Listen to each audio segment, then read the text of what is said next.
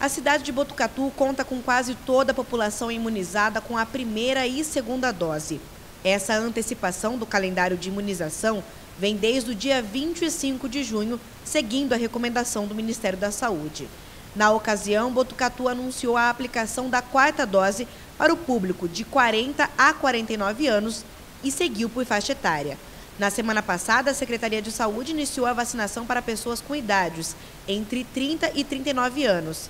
A partir desta segunda-feira, todos os moradores entre 18 e 29 anos podem procurar qualquer unidade de saúde das 8 horas da manhã às 4 horas da tarde ou das 18 às 9 e meia da noite no Centro de Saúde Escola do Vila dos Lavradores para receber a quarta dose da vacina contra a Covid-19. A imunização de reforço é importante para garantir a proteção coletiva da população, já que todos tomaram a terceira dose da vacina no final de 2021.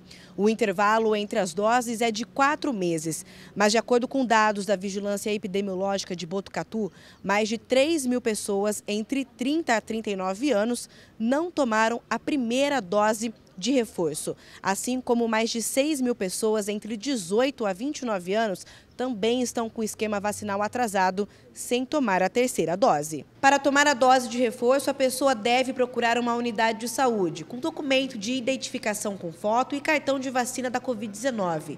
Pessoas com sintomas gripais ou que tenham contraído Covid-19 devem aguardar 30 dias após os sintomas para se imunizar. A vacina contra a doença está disponível para outros públicos também, como pacientes imunossuprimidos, que já podem tomar a quinta dose, e as crianças a partir dos 12 anos, que já podem tomar a terceira dose. Botucatu também liberou a vacina contra a gripe para todos os públicos.